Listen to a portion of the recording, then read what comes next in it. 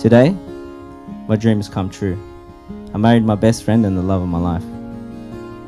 I wake up every morning to realize I'm the luckiest man alive. I have not just gained an amazing best friend, but a lifelong partner that I'll cherish the most amazing times of my life with. You're going to be the most amazing mum that I could ever imagine.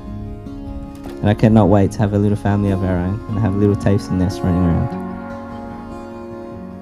The next chapter in our life is here, and I can't wait to spend it together. With you by my side, we can accomplish anything. You are such a strong person. You are my rock, and I can only thank you for always getting the best out of me in everything and everything, anything I do. As Mum would say, Bonnie and Clyde at it again. We make a good team, my baby. It's going to be a strong, it's going to be a fun ride. Let's enjoy this amazing journey together.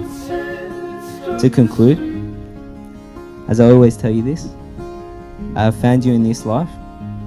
I will find you in the next life and the one after that. I will keep falling in love with you and I will keep asking you to marry me. I love you.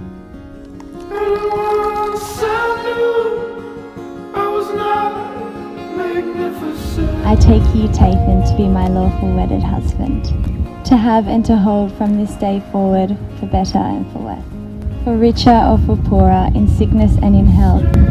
Tayfun, with this ring I ask you to be my husband, to be with me wherever life leads us, to be my partner forever. Do you accept this ring as a sign of my love? I do.